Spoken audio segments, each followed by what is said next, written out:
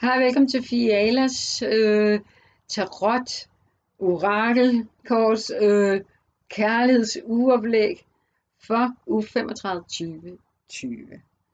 Jeg har trukket lidt forskellige kort i dag. Et øh, tarotkort, der hedder retfærdighed, og et tarotkort, der hedder fristelse. Og vi har nogle orakelkort, et tarot, ja, øh, og You Are Not Alone. Og vi har et orakelkort, der hedder Den Uendelige Historie. Vi har orakelkort, der hedder da, da, da, da, da. Sjælevenner eller sjælepartner, kan vi også kalde det. Og vi har energikort, der hedder Queen of Pentacles. Energikort, der hedder Prince of Cups med en lille nymåne. Princess of Cups med en lille nymåne. Mm, det kan måske være et par. en mand, kvinde, nymåne prins og der var en prinsesse og prinsen. Det ser meget godt ud. Lad os kigge på det. Og uge 35. Fristelse. Aha. Mm. Ja, jeg tror, vi tager dem her sammen her. Fristelse, vi starter lige med den her for sig selv i det hele taget. Sådan en fristelse, af flere i her 35 vil endnu mere altså, føle sig fristet til, altså nu er der sådan et hjerte der i det der æble, og de helt nye kort for mig, så jeg skal lige, de her nemlig nu nye, så jeg skal lige selv se billederne, så jeg overhovedet bare har lidt idé. Ikke fordi jeg bruger det så meget, men jeg læser energien, men det er meget rart lige også at have et billede selv af, hvordan det ser ud. Øhm, der er noget med penge og værdier hernede, der er kærligheds, et hjerte her i det her æble, så der er fristelser i forhold til at forfølge noget med hjertet, eller du vil føle en energi måske, der byder ind til at forfølge, eller fagne, eller være omkring det, eller gå ind i, i, i, i den her følelse, der frister. Det kan jo være i forhold til kærligheden til et projekt, det kan være for kærligheden til til din, en ny vej, du måske skal øh, gå efter, eller det kan være kærligheden til en anden sjæl, eller til dit barn, eller til dig selv. Så fristelsen ligger lidt i, hvad der sådan føles rigtigt for dig i den her uge 35, som er sidste hele uge her i august måned. Og Så, der, så, men det kan også være, at der kommer sådan nogle altså fristelser med, altså igen, åh, små åbninger, fordi der kommer sådan løbende, altså kærligheden arbejder så dybere og dybere for hver uge herfra, fordi jorden er i femte dimension, det vil sige, den går og den går op i femte dimension. Energien bliver stærkere og stærkere og stærkere, og des mere styrke den har, des bedre den ligger deroppe, des lettere er det for os sjæle hernede at komme op, eller at få, få den her energi og manifestere ud fra den. Og samtidig så ligger alle sjæle jo forskelligt i processen i forhold til egen kærlighed og hvor langt du er. Øh, til at kunne opnå kærlighed på femte dimensionsplan, og hvis du allerede er i kærlighedsforhold, så kan det også være, at du skal passe på måske lidt med at blive fristet af noget, øh, som du tager en bid af, som måske så slet ikke er. Altså det viser sig, at du måske hopper ud i noget, som slet ikke at det du forestillede dig, det kan være, hvis du altså er et parforhold og kommer til at hoppe ud i noget, en ny person. Det kan også bare være i forhold til at gå på date med en eller anden i den her uge, og så viser det sig måske, at den ikke helt har den her værdi.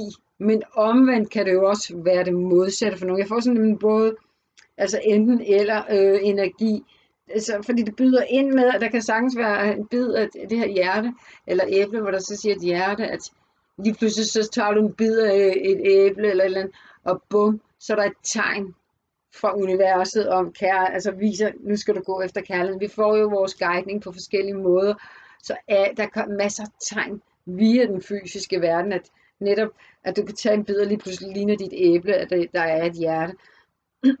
Mange oplevelser, og dem har jeg selv haft på mange plan igennem mange år, og tænkt, nå, det er lidt spøjst, hvorfor ser det sådan ud, eller hvorfor møder jeg lige det der? Nå, øhm, så fristelserne, øhm, jeg får simpelthen lyst til at sige, kan også være,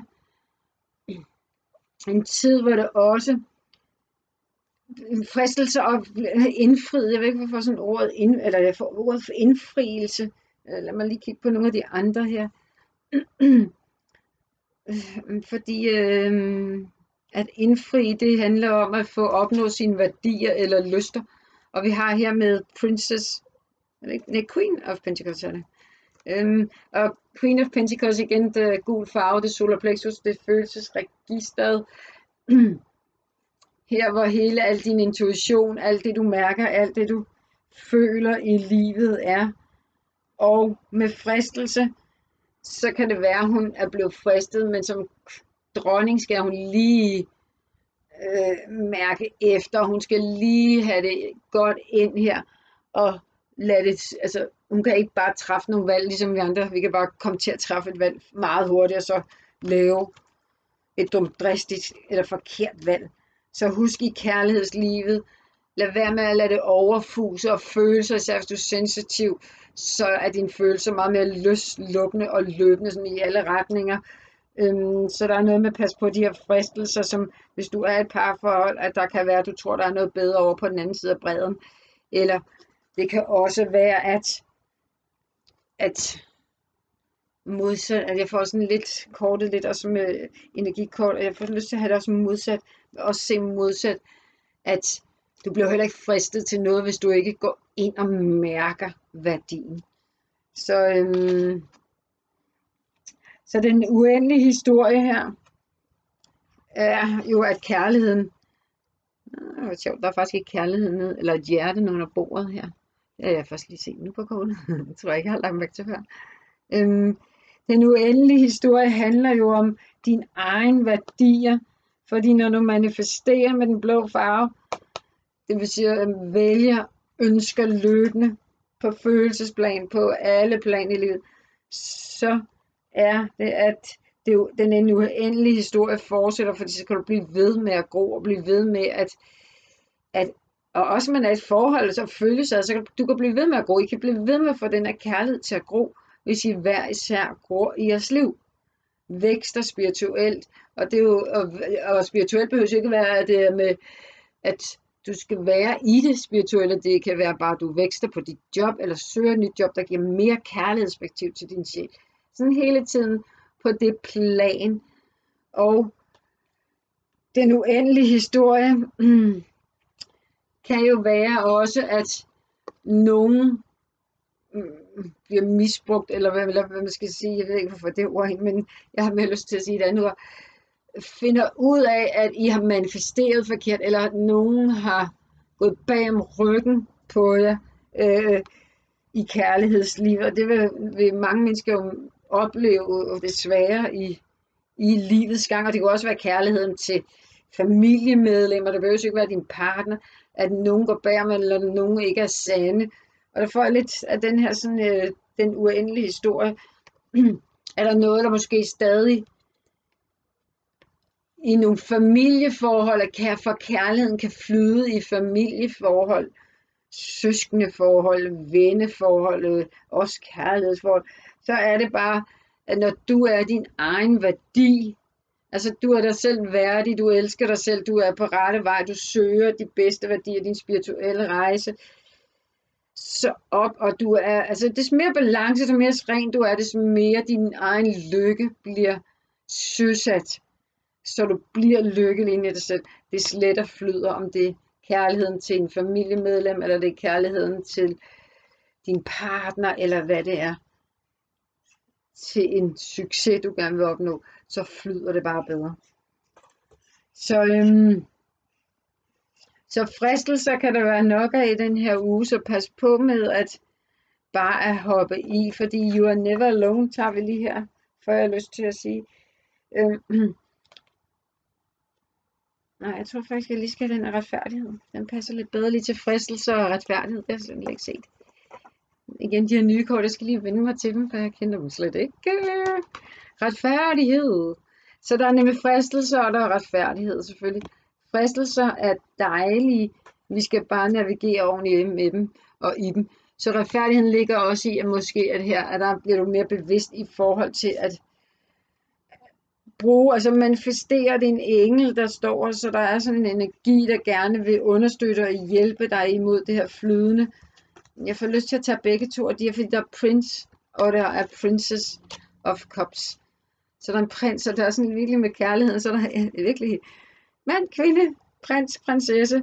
Øhm, nu er de prinser og prinsesser, og dejlige delfiner, frihed og øh, vandtegnets kort, flydende energi, føling, følelser, harmoni, øh, alt er skønt, alt er kærligt, nymåne, nye begyndelser, og retfærdigheden ligger så også her i den her uge, i forhold til, at englene kommer og, og siger, når du netop navigerer korrekt, så er det, at, altså, de, at du vælger de rigtige fristelser til.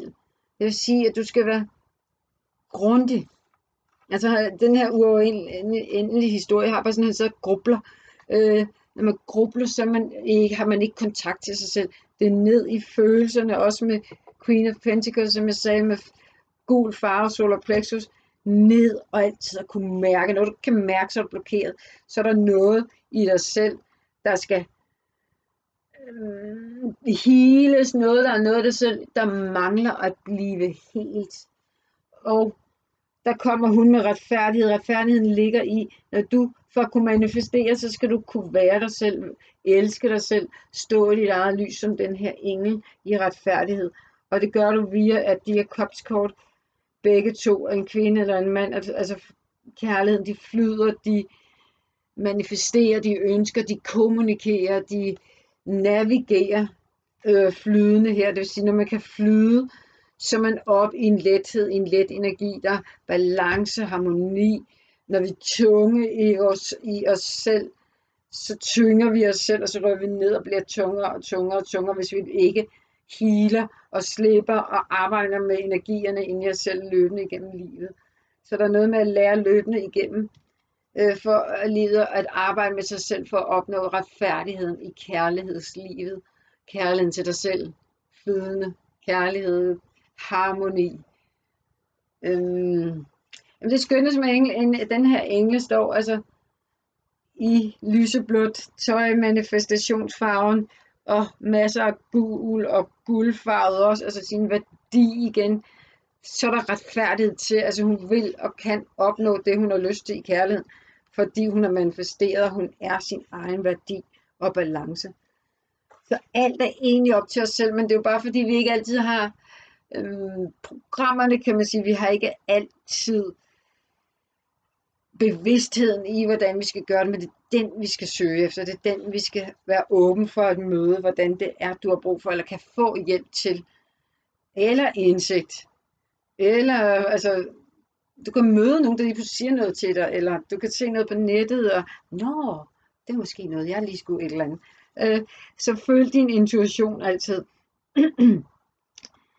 i den her uge er der også lidt med, der er sådan, det, det er mere sådan en, jeg kan godt se sådan helheden af hvordan og hvorledes i den her, der er mere fokus på hvordan og hvorledes, you are not alone, altså du er aldrig alene her på jorden, der er masser af kærlighed. For englene, for dine guider, for Gud, Jesus, Jomfru Maria, og, til, og hvis du bare åbner lidt op, eller et eller andet, går på nettet, øh, skriver noget, så er der nogen, der vil fange dig, hvis du har brug for det. Så brug alt den hjælp eller den støtte og den energi. Altså, nu hvis du kigger på det her oplæg, så får du måske noget støtte, noget energi, der sætter gang i, og noget lys igen i din energi. Bum, så er du allerede på vej. Så der skal ikke så meget til, men hvis vi sidder stille og lukker os inde og fængsler os selv i tanker og blokeringer og, og ikke tør, kan, ikke tør, men måske mere bare ikke kan ønske, eller måske ikke indser, at I skal ønske og vælge, så er det det, der gør, at når du føler dig alene, hvis du ikke har kærligheden, eller kan føle dig alene i kærlighedsforhold, eller hvor det nu kan være i forhold til kærlighed, så er der noget med det, you are never alone, altså universet, englene er der altid. Du kan altid tale med dem, du kan altid bede dem om deres hjælp. Ønske, ja, altså når du siger, jeg har sætninger, så har du manifesteret det. Øhm, ønsket. Og det kan være på kærligheden, det kan være i forhold til kærligheden, det kan være, det kan være kærligheden til et job, eller hvad det er, du har lyst til. Så der er også noget med isolation her, psykiske con- connections her, community. Mm. der er sådan lidt med at se i den her uge lidt rundt på det hele, og der kommer også, der er sjælevenner ind over her. Og sjælevenner vil jeg gerne hellere kalde sjælspartner. Og sjælspartner handler jo om, at to kan connecte øh, med sjælspartner, der er sådan der, øh, kan også altså være lidt forskellige, og de kan også være anderledes. Så for vær nu åben for, hvordan din sjæls kærlighed, sjælspartner kan være, eller være med at være så dominerende, eller øh, fokusere mere på energien i folk, i de mennesker, du møder, fokusere mere på, om det, du kan mærke dem, for hvis du ikke kan mærke dem, så er det noget i dig selv, der ligger, så er det, du kommer til at lave skygge over i, i at projektere i andre sjæle, så bliver det svært at finde kærlighed. Så jeg får sådan lidt med at være åben for de her sjælspartner. Være åben for, at, at din guider altid har din sjælspartner klar. De ved, de kan se alt derfra. Altså de, de har dum, dum, de her stykker, de kan trække, bum. Øhm, og er der noget, du mangler, så kan de også tage dig hen imod det. Og sådan, altså de, de, det er ligesom sådan et brætspil opfra, de kan sidde og rykke rundt på os. Og de kan se, de har hele overblikket af hele verden, hele jorden. De kan se ned igennem alt, om du er i Spanien, eller du er i Tyrkiet, eller hvor du er, så er de med dig. Så der er ikke nogen steder, øh, jeg har selv fysiske, konkrete ting, utallige, hvor det bare sådan, kan I se det der? Så sig lige, hvad det er. Og så får jeg bare sådan en dyk. Øh, og nu er jeg så heldigvis så trænet og ren, så jeg ved, at det er ikke noget min egen eller noget jeg selv finder på. Så sådan kan man finde ud af at arbejde med sig selv og forstå, at de er der. Så, så der er sådan noget med, you're never alone. Og din chefspartner, når han ikke er der, hun ikke er der endnu, eller hvis hun ikke er der endnu, så er der en mening med det. Og hvis hun er der eller ikke er der, det ikke kører så godt, så er der noget, der skal arbejdes med. Så skal I manifestere eller vælge, om I vil fortsætte med at arbejde eller ikke. Altså man bliver nødt til at tage ansvar for, for livet, manifestationer, ønsker, valg osv. Så, så der er sådan en overgangsuge her, hvor kærligheden, der er ikke sådan decideret lige sådan meget kærligheds ind over det, sådan lige nu og der, der, der. Men det er sådan en proces, og det er nok også fordi, at mm, ja, 5, 35, så er vi på vej ja, mod fuldmånen, så det giver mening. Øh, fordi her den 2. september er det fuldmåne, så det giver mening med, at den her uge igen arbejder så op til fuldmånen, så der er der mere fokus på at blive fuldendt i forhold til kærlighed, men det er ikke ens betydning, at det kan være i, altså du er i gang med kærligheden og så videre, det er slet ikke noget med det, men der er bare sådan mindre konkrete lige sådan informationer på selve kærlighedslivet. Så jeg håber alligevel, du kan bruge det, eller i hvert fald, så er det i hvert fald det, der kommer den her uge. Og vi ses i næste uge.